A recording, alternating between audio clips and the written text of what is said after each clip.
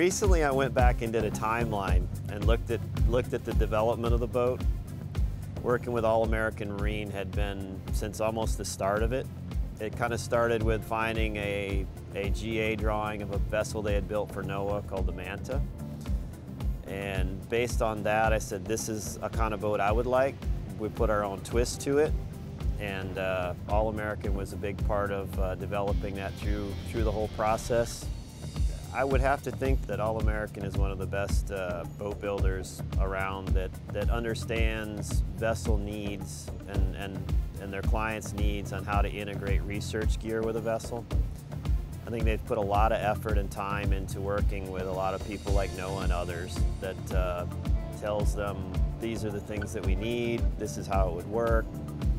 And uh, yes, they were very instrumental in helping, helping us work through how to put, put all the components together.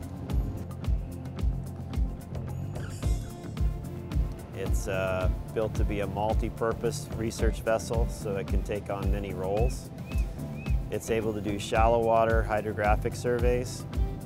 Due to its shallow draft and due to its speed, it's able to do the deeper water projects far offshore.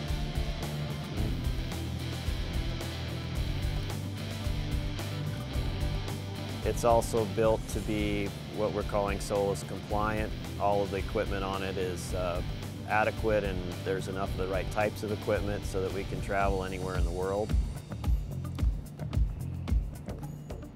We put four engines for one to be able to get the speed we wanted and also to make it a configurable ship where we can pick and choose the speeds we go and have better fuel economy at the different speeds we want to go.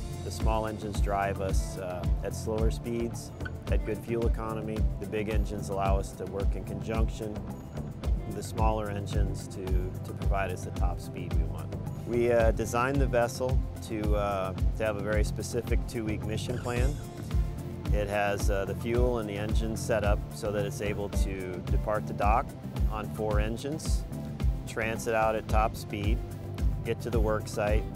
It shuts off the two larger engines and will run on the smaller engines for fuel economy during the two, during the two weeks it's on the survey site. It will then finish its two weeks, uh, turn on all four engines and transit back to the dock at full speed. The speed during the transit lets us uh, do more work on site, gives us more time on our survey site, allows us to go farther, allows us to be more competitive in our bidding process. A, a project that may have been a day and a half transit from the port we're in is now uh, you know, half of a day or three quarters of a day.